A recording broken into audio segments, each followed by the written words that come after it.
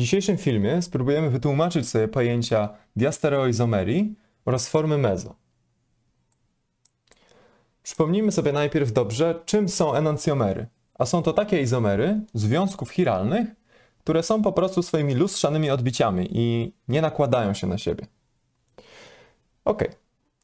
I narysowałem tutaj e, w dwóch, e, w dwu, na dwa sposoby, czyli za pomocą wzorów stereochemicznych oraz za pomocą rzutu Fischera, ten sam związek, czyli aldehyd glicerynowy. To jest taki związek, który ma grupę CHO, CH2OH i grupę hydroksylową i wodór.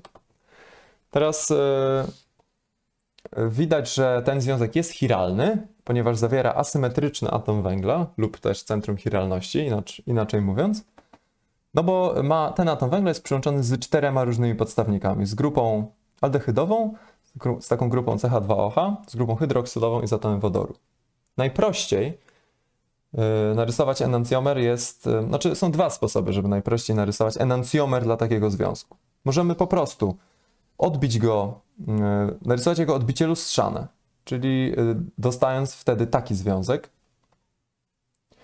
Lub alternatywnie można narysować to w ten sposób, czyli zamieniwszy po prostu dwa podstawniki miejscami ze sobą.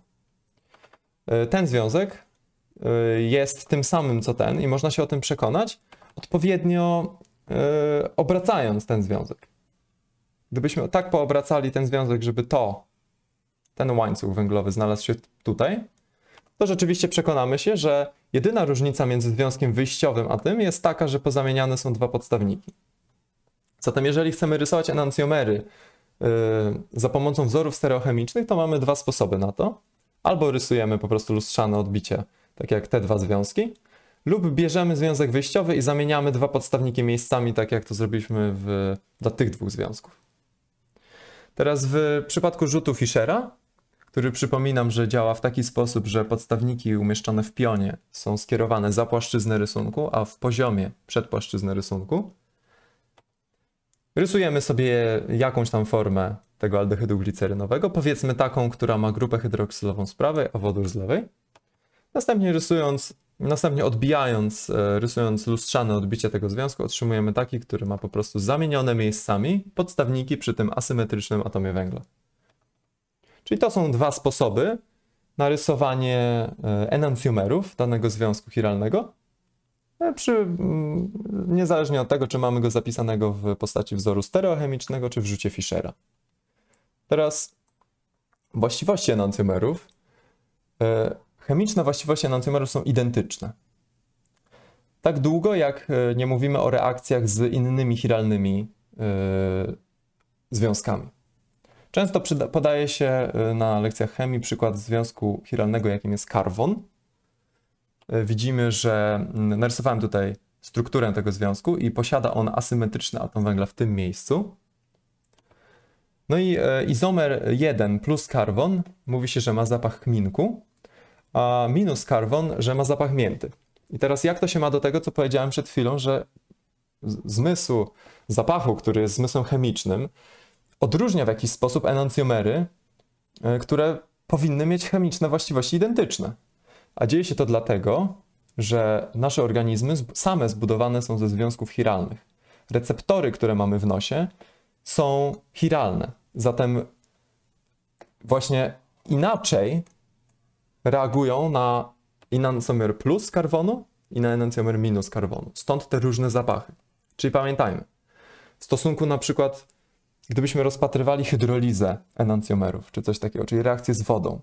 Woda nie jest chiralna prawda, ma, jeżeli traktować parę elektronową jako podstawnik, no to ma dwa takie same podstawniki. Ma dwie pary takich samych podstawników, czyli nie jest chiralna. Tak więc e, związki e, enancjomery w reakcji z wodą będą reagować identycznie.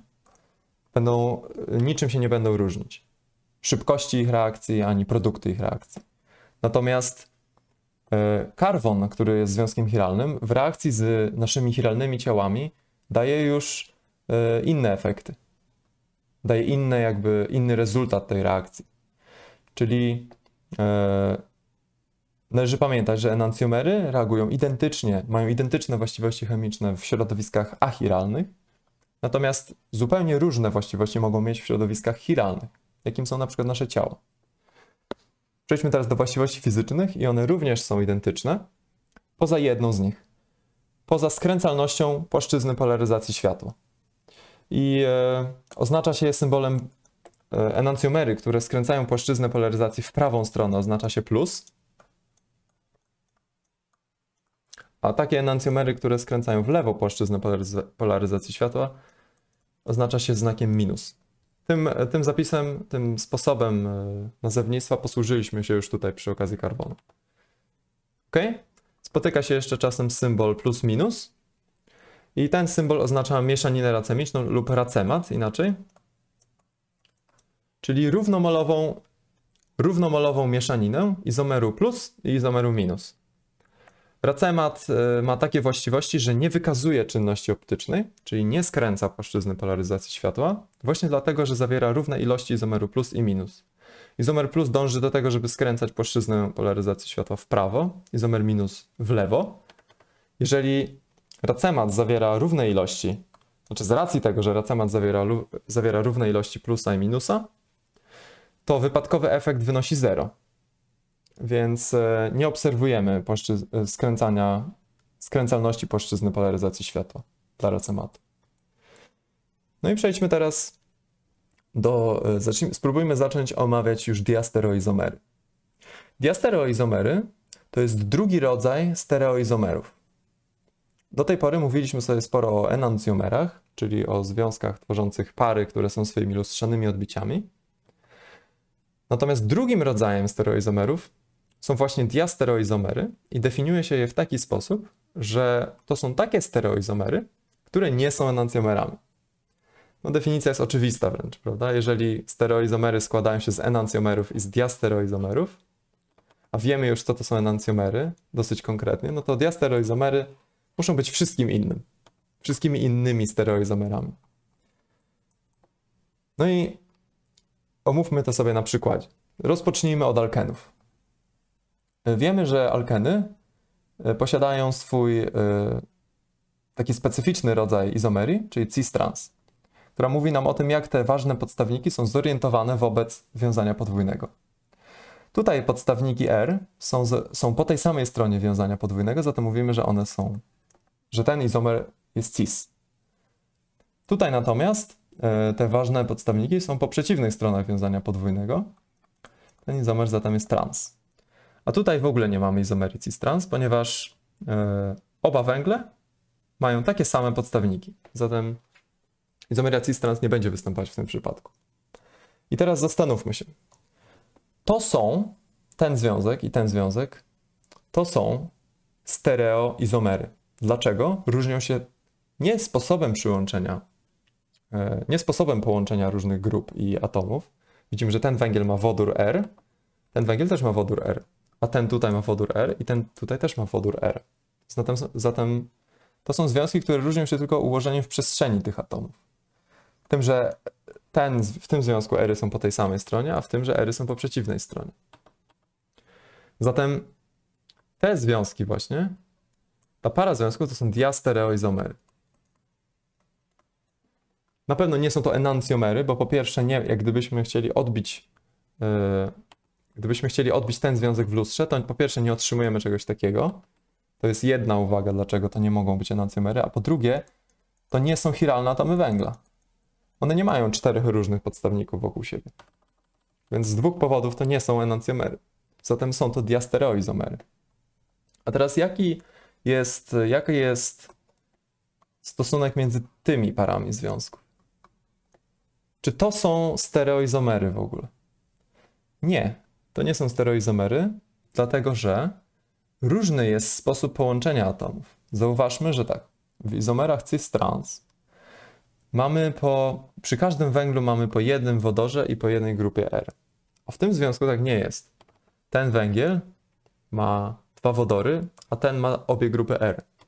Zatem różnica między związkiem pierwszym i trzecim, a związkiem drugim i trzecim jest taka, że to są w ogóle izomery konstytucyjne.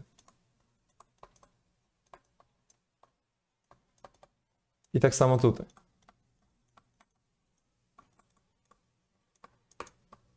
Ponieważ różnią się sposobem przyłączenia różnych grup funkcyjnych w cząsteczce, nie tylko ich ułożenia w przestrzeni. Ok.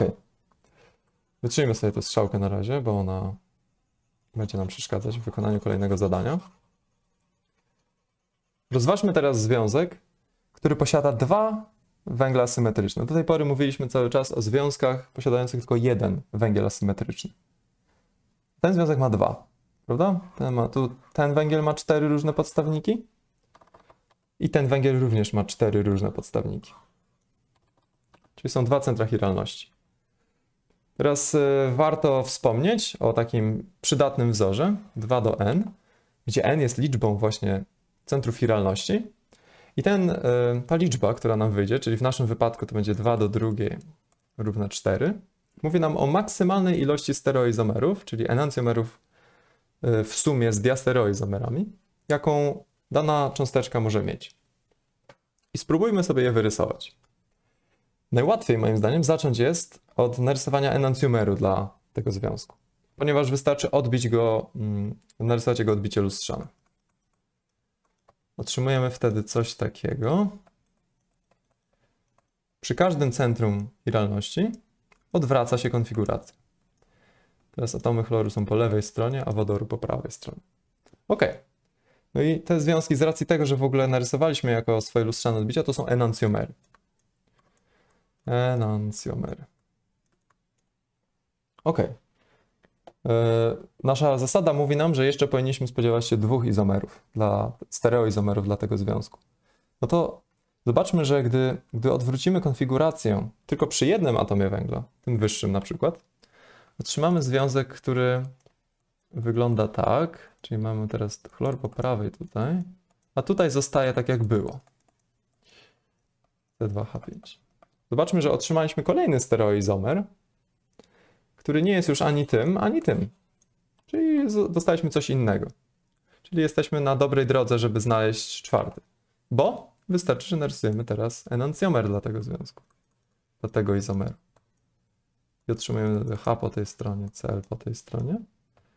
C, Cl, A, C2H5. Czyli otrzymaliśmy już wszystkie możliwe stereoizomery zgodnie z tym wzorem. Na pewno nie będzie ich więcej. Czasami jest ich mniej, ale na pewno nie więcej. Jeżeli otrzymaliśmy 4, to znaczy, że wyczerpaliśmy wszystkie możliwości. Zobaczmy, że tutaj znowu mamy kolejną parę enancjomerów. A co na przykład z tymi dwoma związkami? Jaki jest związek pomiędzy nimi? No i widać, że one mają, różnią się konfiguracją przy tym węglu asymetrycznym różnią się ułożeniem podstawników w przestrzeni, ale nie są diastereoizomerami, no bo gdy postawilibyśmy tutaj lustro, to to nie są lustrzane odbicia. Widzimy, że na przykład tutaj nie odbiło się. Czyli to nie są też enancjomery. No właśnie, więc jeżeli mamy izomery przestrzenne, mamy stereoizomery, które nie są enancjomerami, muszą to być zatem diastereoizomery. Diastereoizomery. Ten tutaj, zobaczmy, czy ten związek jest lustrzanym odbiciem tego związku? Nie. Nie jest. Widać, że na przykład tutaj się nie odbiło tak jakby. Czyli ten związek drugi ze związkiem czwartym również stanowi parę diastereoizomerów. I tak yy, można rozważać inne pary związków, na przykład pierwszy z trzecim. Ponownie nie są to odbicia lustrzane, to są diastereoizomery. Czyli rozważyliśmy pierwszy z trzecim, drugi z czwartym, drugi z trzecim. A czy pierwszy z czwartym są, e, jaki jest stosunek łączący pierwszy z czwartym? To również są diastereoizomery. Ok? Czyli udało nam się znaleźć dwie pary enancjomerów i aż cztery pary diastereoizomerów do takiego związku. Dobra, przejdźmy dalej. Kwas winowy. To jest związek, na którym zjawisko enantiomerii w ogóle zostało odkryte przez Ludwika Pastera. Jak e, spojrzymy sobie na konstytucję cząsteczki kwasu winowego, możemy zauważyć y, występowanie dwóch centrów chiralności. Tutaj i tutaj. Każdy z tych węgli jest przyłączony z grupą hydroksylową, grupą karboksylową, wodorem i z taką, takim podstawnikiem. Czyli mamy dwa centra chiralności. Narysujmy sobie rzut Fischera dla tego związku.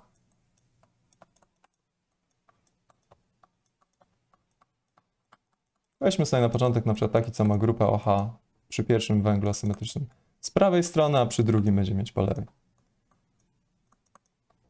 Teraz nasz wzór mówi nam, że powinniśmy spodziewać się 2 do drugiej, maksymalnie 2 do drugiej stereoizomerów. Ok. No to y, najłatwiej zawsze zacząć od narysowania enancjomeru. To rysujemy.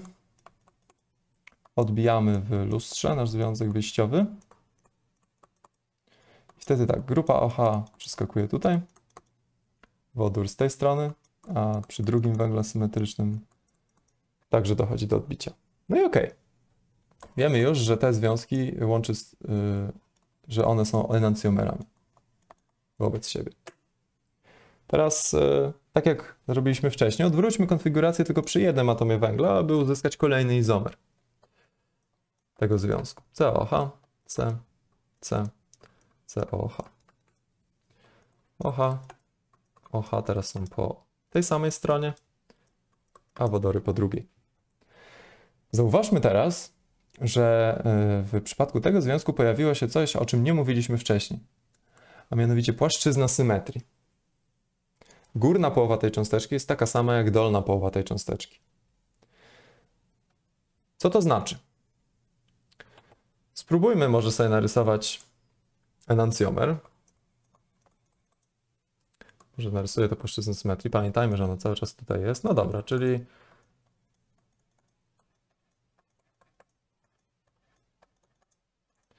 COH. Teraz pytanie, czy te związki są wobec siebie enancjomerami? Są enancjomerami? No w definicji enancjomeru mamy, że to są swoje lustrzane odbicia, to raz, no i to są swoje lustrzane odbicia rzeczywiście, ale czy one są rzeczywiście na siebie nienakładalne? No i okazuje się, że nie. I jest tak dlatego, że w naszym związku wyjściowym występuje płaszczyzna symetrii. Narysujmy najpierw sobie mm, taki związek, który jakby obrócę wokół osi prostopadłej do nas, zamienię po prostu, obrócę go w ten sposób. Czyli ta grupa wyląduje na górze, ta grupa wyląduje na dole. Zatem rysując ten związek otrzymuję coś takiego. COH, C, C, COH. Tylko to jest teraz ta grupa, która wcześniej była na dole. No i jak obrócę całą tę cząsteczkę, no to wtedy grupy OH mi lądują po prawej stronie. Zobaczmy, że te cząsteczki to nie są enancjomery. Dlatego, że to jest to samo. I właśnie takie cząsteczki, które posiadają płaszczyznę symetrii, nazywamy formą mezo. I forma mezo to jest taka forma, która jest identyczna ze swoim enancjomerem. Zatem nie ma sensu tego w ogóle rysować. To jest błąd. Czyli kwas winowy który maksymalnie powinien mieć 4 stereoizomery, będzie mieć tak naprawdę 3. Ze względu na występowanie formy mezo, która jest identyczna ze swoim enancjomerem. Ok? I teraz, e, w, gdy będziemy rozwiązywać zadania, co prawdopodobnie stanie się w następnym filmie, za każdym razem, gdy spróbujemy narysować enancjomer. Na przykład dostaniemy wyjściowy związek w rzucie Fischera. Za każdym razem zaczynaliśmy od narysowania enancjomeru przy konstrukcji wszystkich stereoizomerów. Teraz za każdym razem, już wiedząc, że istnieje coś takiego jak forma mezo, musimy sprawdzać, czy nasza cząsteczka przypadkiem nie ma płaszczyzny symetrii. Bo jeżeli ma, to znaczy, że nasz enancjomer nie istnieje i nie możemy go narysować. Czyli musielibyśmy na przykład odwrócić na przykład, gdybyśmy rozpoczęli e, rysowanie, ktoś nam podałby taki związek w zadaniu, to musielibyśmy najpierw obrócić, obrócić e, ułożenie w przestrzeni podstawników tylko przy jednym z atomów węgla. Ok, i to wydaje mi się, że na tyle, jeśli chodzi o diastereoizomery. W następnym filmie poćwiczymy sobie rysowanie stereoizomerów dla różnych związków. E, Będziemy uważać na formy mezo, będziemy określać pary enuncjo i diastereoizomerów e, wśród związków, które narysujemy. I na ten film to tyle. Ja dziękuję za uwagę. E, Zachęcam do subskrybowania, jeżeli e, ten materiał był dla Ciebie pomocny. I do dzielenia się ze znajomymi. To pomoże temu kanałowi urosnąć na tyle, żeby stał się użyteczny dla jakiejś sensownej liczby osób. A na dzisiaj to tyle i do usłyszenia w kolejnym.